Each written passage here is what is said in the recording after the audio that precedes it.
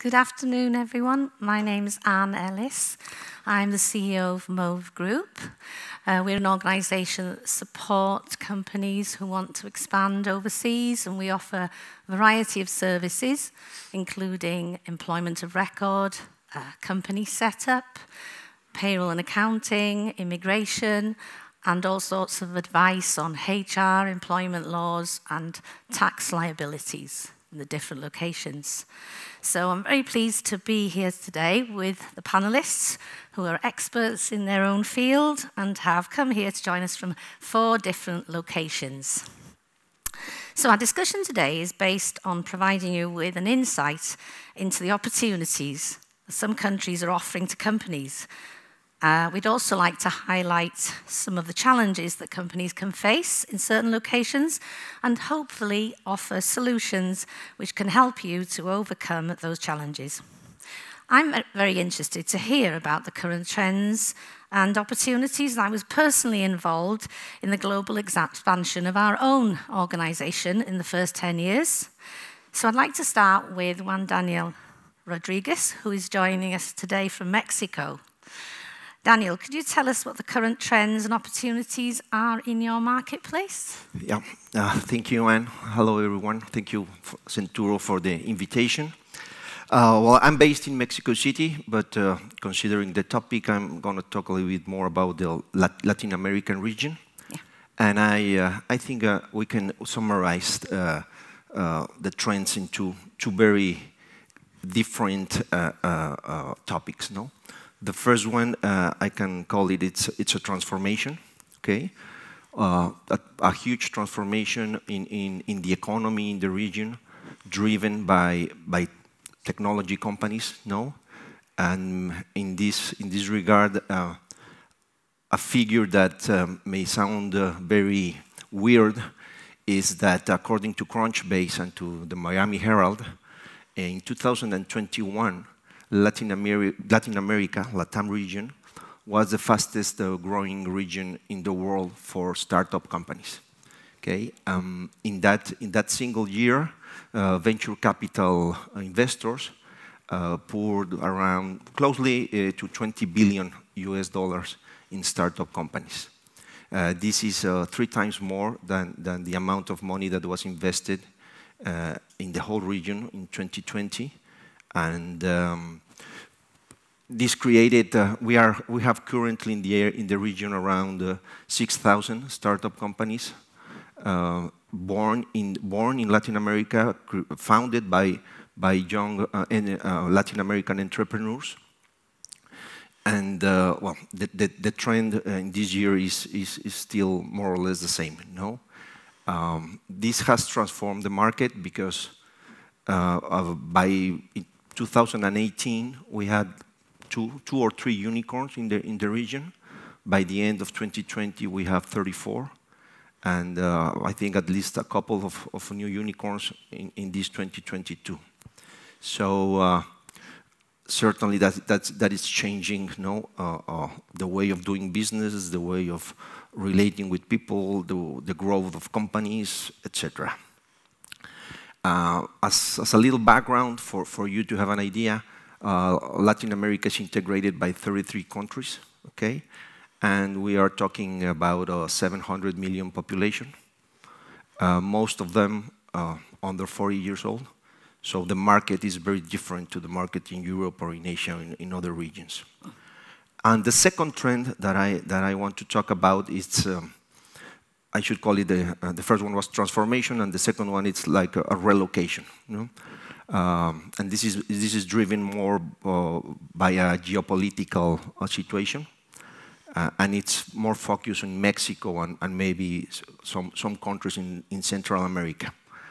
Uh, the, the, this geopolitical situation, policy, politics between the the U.S. and, and China have created uh, or, or, have obliged the companies, the U.S. companies, to think twice about having uh, manufacturing plants or, or, its supply chain uh, uh, in China or in other countries in, in, Asia.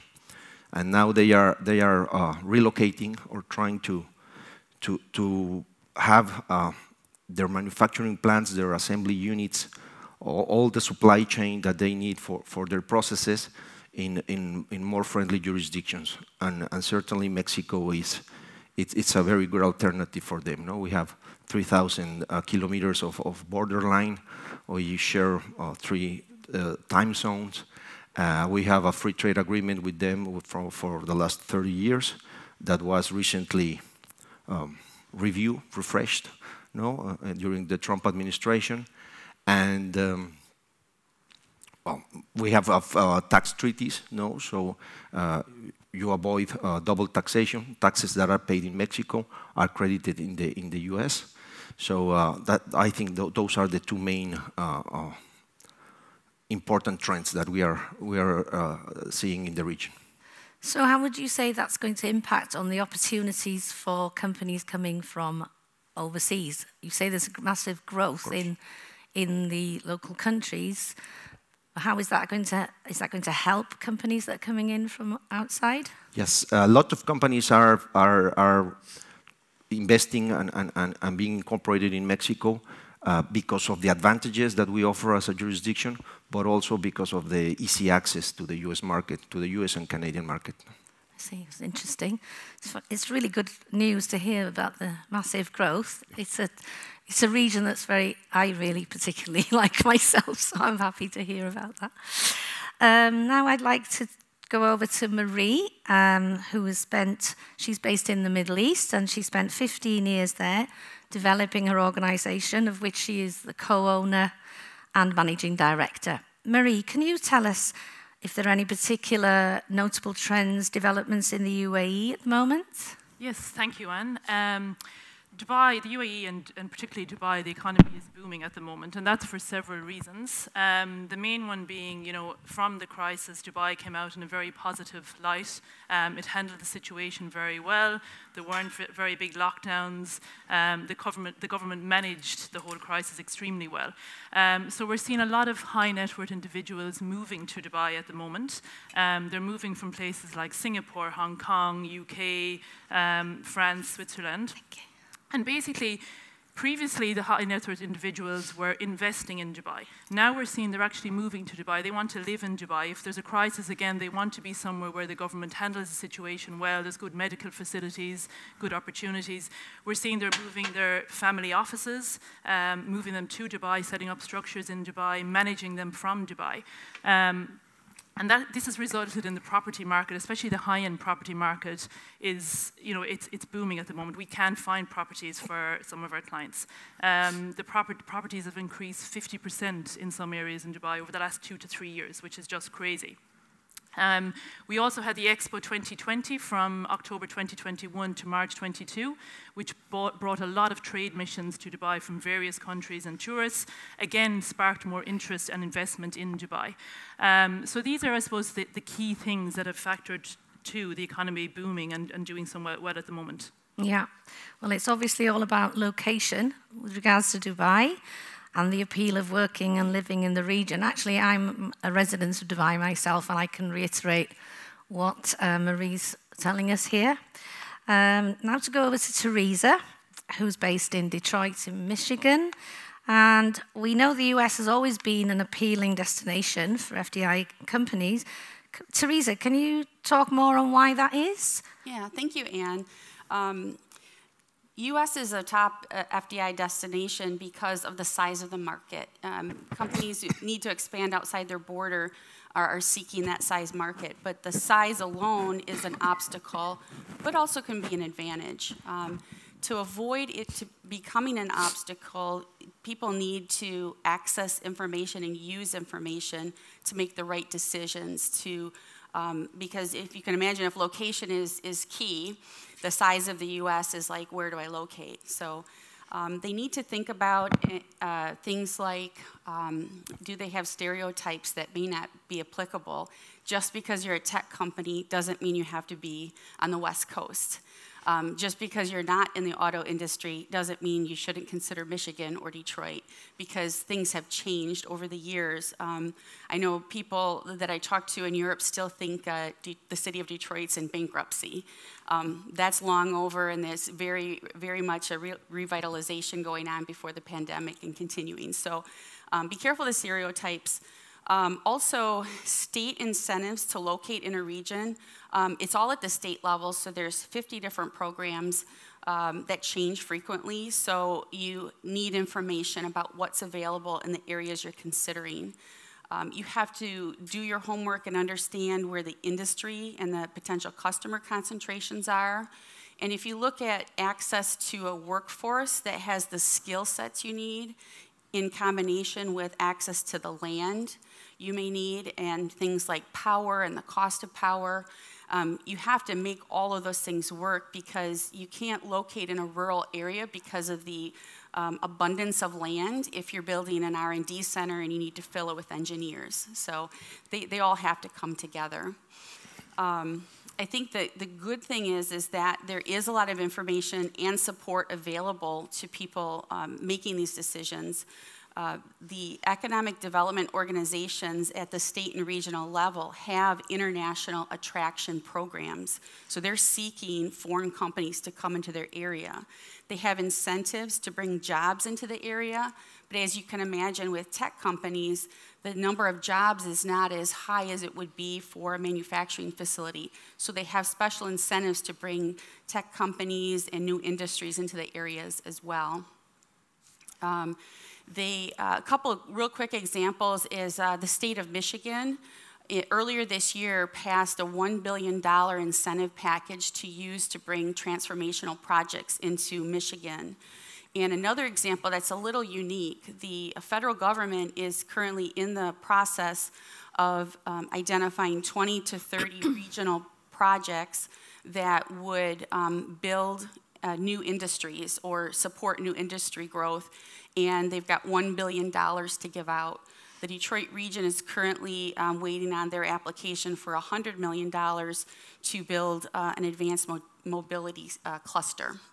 So um, a lot of great things going on, and those are those are um, unique. The federal, especially, is unique, but every state has incentive packages, and um, information about those incentive packages is important to a company looking to come in.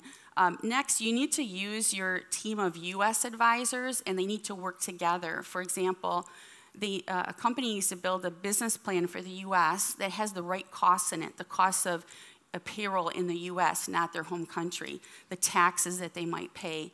And if you're building that business plan with your accountant, um, make it work for the immigration attorney as well, so working together. And another key thing um, when you're talking about locating and, and what you're going to be doing in the US is use that team of advisors to talk about the different business models that you may use. I talk to a lot of companies that need to be or want to be in the US and they don't know if they're going to have a sales office or they're going to distribute. Um, some people think it can just be a cost center. So use that team in the planning stage because it's going to affect your decision about location and facilities and all of that. And lastly, you know, leverage your network and, and resources. You know, Centuro Global with the platform, the, the organization, the network, it's obviously we're all here for that reason. It's a perfect place to get that information to start making those decisions. Yeah, I noticed you also mentioned Select USA. Yes, Select USA is a federal program that um, they have an annual summit. It's coming up in, in the end of June.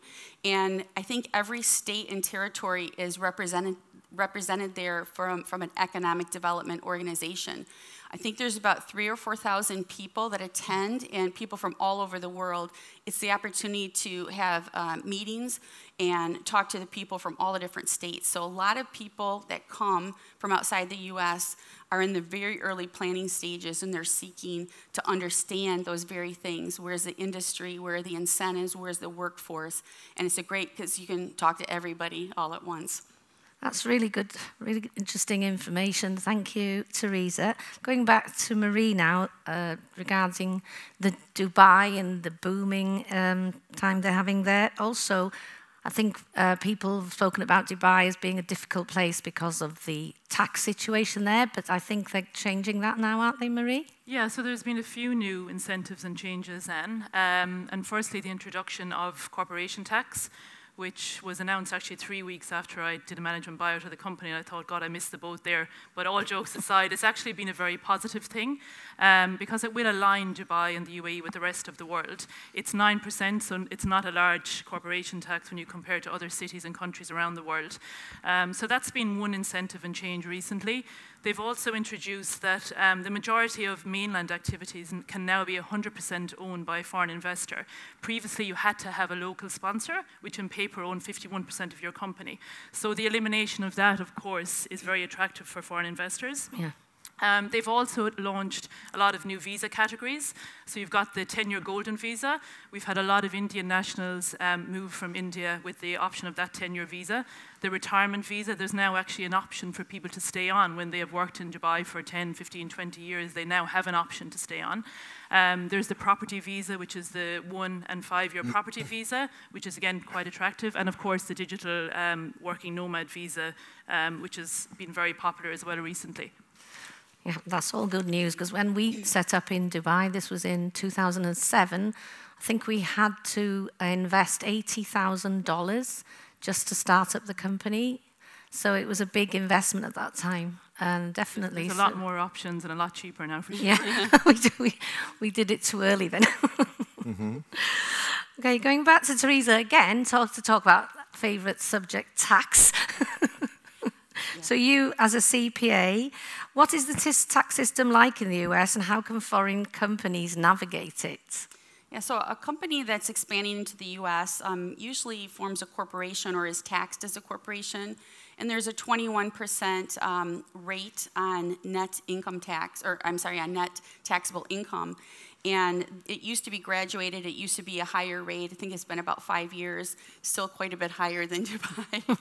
um, but it did, it did come down um, in, in relation to some other countries. Um, in addition to the tax rate, there's other considerations, um, transfer pricing requirements. Um, you need to think about what the role of that company, that US company is going to play in the global transaction, and then the IRS is going to look for that to earn the appropriate amount of profit. So if you're setting up a sales office versus a distribution center versus a manufacturing site, there's going to be different expectations of the level of profit that those um, operations will will um, will make, and um, then to track that, there's requirements, reporting requirements within the corporate return that you have to disclose all of your transactions with foreign related parties.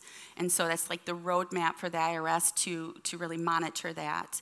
And there's significant penalties even for filing that, that disclosure late. Um, and the last, lastly, there's withholding requirements for certain transactions that the U.S. company has uh, with foreign parties, related or not. And um, really, what you need to navigate all of this is a U.S. tax advisor that has the experience with the foreign owned companies because you're not just filing a U.S. corporate return, you're filing one that has those additional requirements and penalties. And then, if I have time, really briefly, um, I think even more complicated for, for certain businesses is the state level tax um, especially if a company is going to be selling to customers throughout the US or employ people throughout the US. Um, the state tax could become quite complex. You have mm. 50 different sets of rules, different types of taxes, um, most commonly income tax and sales tax. And um, the, the the, the state tax arena is just becoming more and more complex. It's moved a number of years ago from a physical presence to, to, to, to determine taxability, which is clearer than what is now an economic nexus. So who, where the location of your customer that you're selling to and the level of sales to that customer is going to depend on whether or not you're taxable in that state. So it's harder to track, it's harder to determine, and there's more and more. Um, it's just going that way. Everything's becoming economic nexus. Um, also, states are very, getting very aggressive in their collection, and some of the trends are not going in taxpayers' favor. Some simplification measures might eliminate a graduated tax, but doesn't eliminate the burden of compliance or the, the, the variation in rules. So it's just an area that uh, for for some business models can be very complex. And again, to navigate that, um, you really need a process to have ongoing nexus evaluations, and that's what's key to that is tracking the right information. If your accounting system, um, you can only pull a report on sales based on the bill to address, um, it's not going to it's not going to be good enough. You need to have quick access to sales by state based on the shipping address. So just simple things like that. But the key is to put those things in place right from the beginning. So it's very important to get to know people like you, then, Teresa, if you're looking to go into the US. Finally, I'd like to introduce Steve Burson, who's currently located in Singapore, but also worked and managed his business in Japan. Um, and he comes from the same sort of perspective as Marie, worked in uh, destination services. That's right, yes. So, what problem or barriers might someone come up against when looking to expand into your location? And can you also give us some solutions to those challenges? Yeah, I guess uh, coming from a, a, visa and immigration uh, perspective, I think uh, there's a, a, lot of nationalistic or more nationalistic nationalistic uh, sentiment now um, coming out of COVID. You know, countries are really um, making it more difficult uh, for companies to get uh, you know visas, working visas for their for their people. so a lot more labour testing um, for example, um, it takes a lot longer to get that, that working visa. Um, yeah.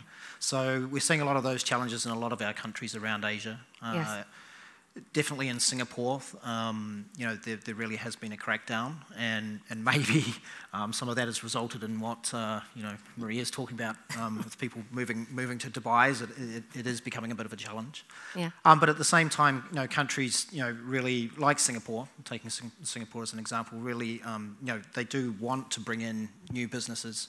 Yeah. Um, Singapore, in particular, in, in the tech and IT space, uh, so there are organisations like Enterprise Singapore, um, which they call ECG, uh, ESG, different, different ESG than we've been talking about here um, during this conference. But um, ESG is really, um, you know, keen to bring in new businesses to, you know, to Singapore, and so using those, um, you know, those investment type vehicles. Uh, you, will, you will get well supported and at least get you know enough support to get your business um, up and up and running um, and then it's probably going to be important in most locations to, you know, to employ locally um, so that you can continue to, to bring in, uh, you know, people on, on working visas and things like that. So, yeah. yeah. From my own experience, I think we, we set up in Singapore in uh, 2007. It was easy to set up the company very easy, online practically. It is still very easy to set up the company. It's just it's getting more and more difficult to yeah. to employ uh, foreign. Yeah, well, this is the problem I'm having currently, trying to find staff in Singapore. It's very difficult at the moment. Yes, yes, and business is very vibrant. Um, you know, Singapore with the geopolitical sort of um, you know situation we see in, in you know Hong Kong and, and China being quite closed due to you know zero yeah. COVID. Yeah. Um, things really are ramping up in Singapore. So uh, yeah, things are very hot. So lots of people, when they think of Asia, they think about China. Um, they tend. What's your take on the best location to have to base yourself in the region, apart from China? I guess it really depends on the, the industry you're in, but but Singapore probably has to be one of the you know the the, the best locations to base your business uh, yeah. in Asia um, and using that as a hub to then to then you know move move into other other countries. Yes. Um, maybe the dark dark horse there is Japan. Um, although Japan's corporate tax scheme is is not quite as competitive as you know say Singapore or Hong Kong. Uh, but the good thing about Japan is you know that there are no um, you know um, there is no limit on how many um, foreigners you can bring into the, into right. the country. The, the visa and immigration process is quite open. It, it, yes. it takes a little time to to get people through that process, but yeah. um, definitely, um, you know, locating your, your business in either, you know, a, a, location like Singapore or Japan where the, you know, the countries are politically stable, um, and then yes. using that to, you know, to, to move into to, to other countries. Yeah, I think one of my challenges in Japan was finding the right type of partners. I sort of third time round, I found the people that were the people that did the best job for me, and now I'm very happy, but it took a while. it does take a while, but I think increasingly Japan is, is becoming more global, more open to those, yeah. those types of partnerships, and we're definitely seeing a lot of, um, you know, Japan and, and foreign collaboration, um, and through that a lot of, um, you know, an influx of, a good influx of, of people recently. Yeah.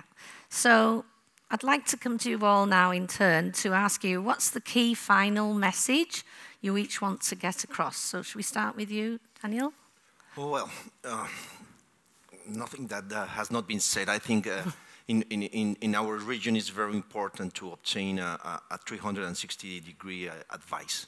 No, um, sometimes you can have a, a, a, good advice on the immigration uh, uh, area and you will relocate the, the, the employee and, and, and uh, obtain its working uh, visa and everything, but that not necessarily will be complying with the employment and labor side or the tax uh, aspects of, of, of, hiring. So um, again, since the beginning, no, if, if you're going to set up a company, what are the requirements, what are the best structures, who, who, who have to be the, the shareholders of that company in order to take advantage of all the tax treaties that, that, that the country has, no? And, um, and again, it's, it's a global advice, no? It, yes. It, it's very, very important. Thank you. Steve? Much of the same, really. Uh, you know, plan and consult, I think, and, and you know, use the the, the Centuro network to you know yeah. to get as much uh, advice as you can on the locations that you're looking to get to go into, and and don't assume it's going to be easy because it's uh, a lot of the time it's not, and that's and that's why you're going to need help along the way. Yeah, yeah I think um, Centuro Global is a great way to connect with different people. I'm certainly going to. I'm a new mem- going to be a new member, but I'm certainly going to use it. Yes. Uh, Teresa? I think um, my advice would be to uh, don't rush into decisions without the information. Um, also, don't don't jump to a, a, the lowest cost solution without really understanding your needs. Mm. And I think just using that information and, and, leaning on you know U.S. resources um, will put you in the best position to succeed. Okay, thank you, Marie. Yeah, similar to what Anna said, I would say definitely don't go for the, the lowest cost solution. Um, and, and one of the challenges with the UAE and that we spoke about as well is opening corporate bank accounts. So when yes. you go with the cheapest free zone or free, cheapest entity to, you set up, you won't be able to open a corporate bank account. So, you know, sometimes cheaper can actually end up a lot more expensive. And we That's see right. that with clients that don't listen and then they have to set up a second entity for their corporate bank account. So definitely do your research, get expert advice, um, and take your time as well.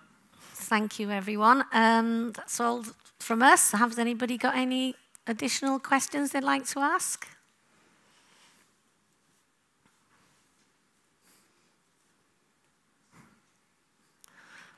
Well, I think we're finished then. Thank you very much for listening.